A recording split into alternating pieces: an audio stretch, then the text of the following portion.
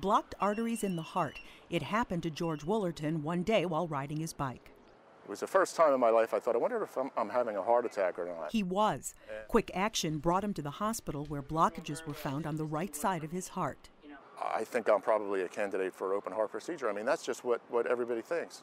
George didn't require a coronary artery bypass graft or what's known as CABG or open heart surgery. Venus is in as well. Instead, his cardiologist performed a percutaneous coronary intervention or PCI, which involves inserting a catheter through an artery and implanting metal tubes or stents to help reopen the blockages.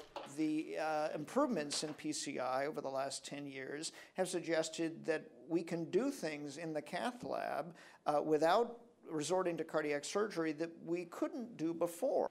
Dr. Peter Groeneveld from the University of Pennsylvania School of Medicine and co authors examined data from a 20% sample of coronary artery bypass and PCI procedures performed in U.S. hospitals between 2001 and 2008. Bypass surgery has declined by about 38%, a really remarkable decline in one of the leading surgeries uh, done uh, by American hospitals. There's a very stable number of PCI procedures being done. The decline in that was only about 4%. The study appears in this week's JAMA, Journal of the American Medical Association. A concern would be if there's been a, almost a 40% drop in CABG, that perhaps some patients who should be receiving CABGs are not getting that particular procedure.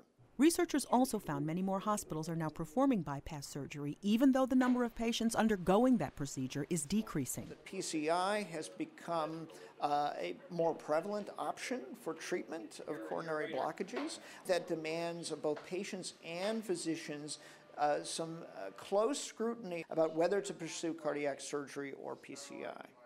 As for George, the decision to undergo PCI worked well. I feel great. I feel fine. I feel wonderful. I, I'm not limited in any way. Catherine Dolf, The JAMA Report.